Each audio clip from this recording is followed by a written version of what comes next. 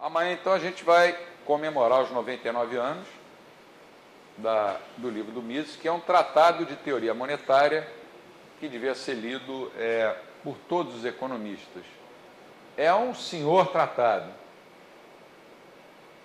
Talvez porque, culturalmente, os alemães, para dizerem que isso aqui é um mouse, para dizerem que isso aqui é um mouse, eles gastam quatro páginas que eles começam, suponha que isso não seja um mouse. suponha que isso seja não sei o quê. Aí ele acaba provando que é um mouse. Que eles têm uma fundamentação filosófica muito forte. A gente aqui já é mais simples no Brasil. A gente diz, olha, isso aqui é um mouse. Ou como dizem em Portugal, é um rato. É, amanhã, então, a gente vê a teoria monetária e depois começa a entrar no filé mignon do curso, que é. Ah, ainda tem a teoria do capital, que vai ser uma aula que eu vou ter que colocar vários efeitos sonoros para vocês não dormirem, porque é um assunto pesado, mas que é muito importante.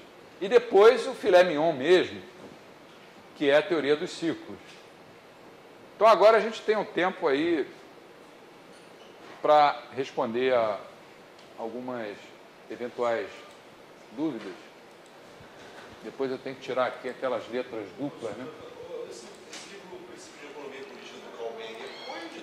Aqui no Brasil fez a tradução? Foi aquela coleção dos economistas. Eu não me lembro. Vendi em jornaleiro. Não era Abril Cultural? É, Acho que era da Abril Cultural. É, é eu... Cultural, coisa assim. Foi?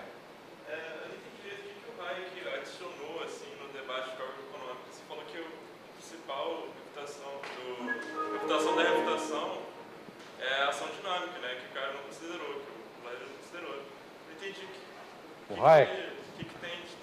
Eu acho que o que ele colocou de um pouco diferente do Mises foi mais a questão do conhecimento, que o Mises não enfatizou tanto.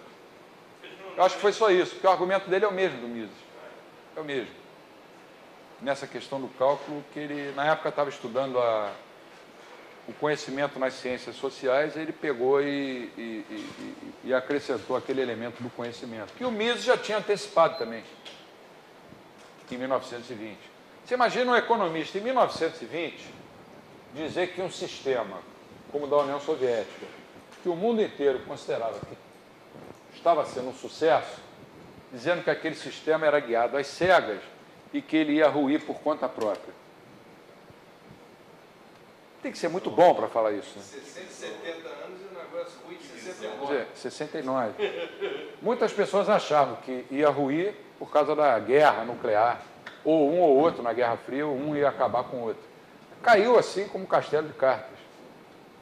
Caiu e não houve reação, foi uma coisa.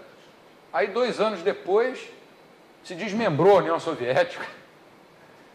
E hoje você tem vários países ali, alguns seguiram uma linha mais liberal, e estão se dando bem, como a República Tcheca, outros continuam meio fechados, e ficaram meio perdidos. Ah, a abertura da República Tcheca ela foi responsável é, pelas ações de Václav Klaus? Ele foi o principal mentor né, da, da, da, da, abertura. da abertura. Depois, segundo me disse o presidente do Instituto Mises da Tchecoslováquia, lá em Viena, ele se afastou um pouco, até afastado da, da política, mas ele teve o mérito de fazer uma reforma curricular no governo dele, em que ele introduziu escola austríaca em todos os currículos. Então, o Instituto Mises da Tchecoslováquia é um dos que mais cresce no mundo. É uma pena que está tudo escrito em naquela língua, né? não dá para entender. De vez em quando você entende, isso aqui eu acho que é Mises. É. Uma vez eu dei uma entrevista para um jornal da antiga União Soviética. O cara queria saber o que, que era investimento privado. O jornal era. Tinha dois lá, o Pravda e o Izvestia. Era para o. Eram os dois jornais lá. Eu levei, eu levei, sinceramente, 45 minutos para o cara conseguir entender o que, que era o conceito de investimento privado. Porque na cabeça dele, ele não sabia o que era isso. E ele dizia que era simpático ao capitalismo, imagina. Aí saiu o jornal, na, pedi quando saísse na Rússia, ele, na época era por fax. Ele mandou o fax para mim no jornal em russo.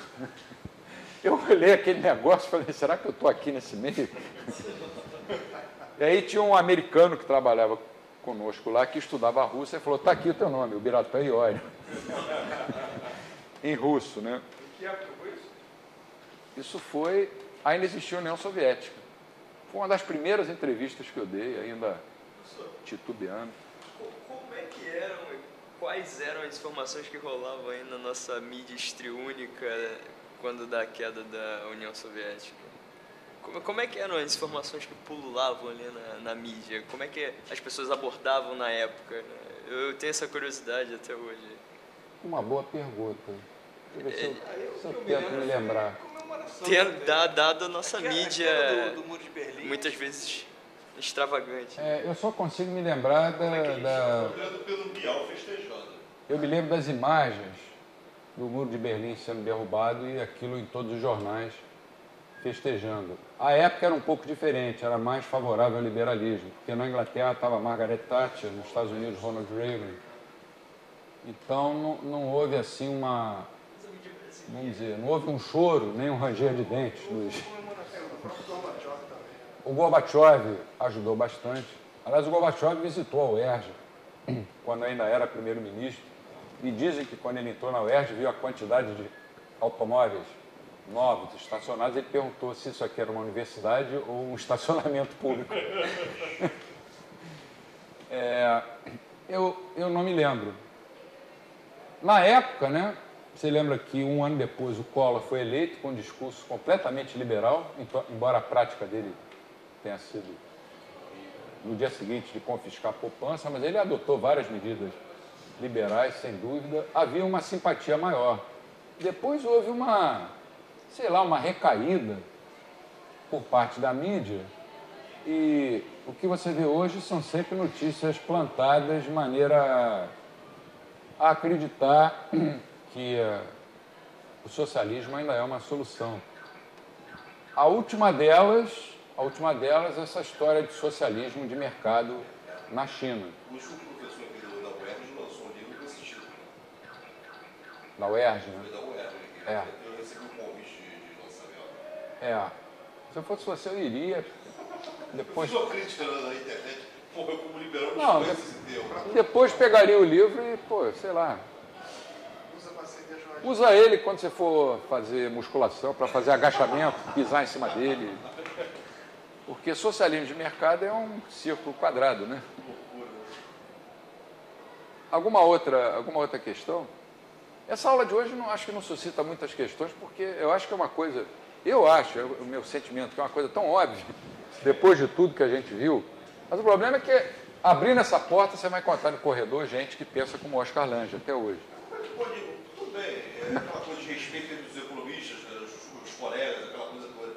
Mas pessoas desse podem chegar ao poder e ditar normas para as pessoas obedecerem, como ele mesmo É. disse, passivamente, né? E serem considerados economistas de ponta. Chegaram. Chegaram, é, esse acho que é um problema do sistema político. A democracia nem sempre elege os menores, os melhores. E a mídia faz questão de Enalteceram. enaltecer pessoas que tudo que fizeram na vida deu errado. Eu não vou mencionar nomes porque eram economistas, e, mas vários economistas brasileiros que tudo que fizeram na vida deu errado são celebrados hoje como heróis. Como heróis. Esse cara se preocupou com um projeto de país, esse cara foi um grande economista. Não, tudo que ele fez na vida deu errado. Foi ministro Juscelino, arrebentou com a inflação. Depois passou o resto da vida dizendo que inflação é uma coisa boa para o país crescer. E, no entanto, é celebrado. Chegar um austríaco lá e dizer, olha, uma- numa crise como essa, o que o governo tem a fazer é tirar o time dele de campo. Cortar os gastos e parar de emitir moeda e deixar o mercado se ajustar, as damas de espada desaparecerem. Ninguém vai dar espaço para um cara desse. O que as pessoas querem é promover essas ideias intervencionistas. É uma questão cultural que acho que só pode ser combatida no terreno das ideias. Por isso que eu acho que não adianta tentar implantar as ideias liberais pela força. Porque a gente nunca vai conseguir. A gente nunca vai conseguir porque as pessoas não vão aceitar e depois o pêndulo vem na nossa direção e pode pegar na nossa cabeça. Então a gente fica por aqui, né? Boa noite. Até tudo.